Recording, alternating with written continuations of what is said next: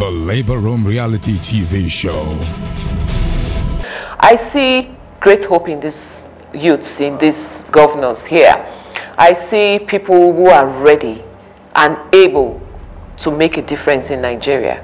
In fact, some of them were sharing experiences of how disappointed they were because they couldn't even get through to their state governors, to their representatives at the assembly with brilliant ideas that they had. Ideas that could create jobs for youths like them. You know i mean these are people who already have ideas. And if we give them the chance i'm, I'm glad they have the chance already. I won't use the word give them the chance. I'm glad they have this exposure. And with this chance they are given you know with this opportunity i can assure you that their lives will never be the same the states where they come from will never be the same because they are going to make a big change.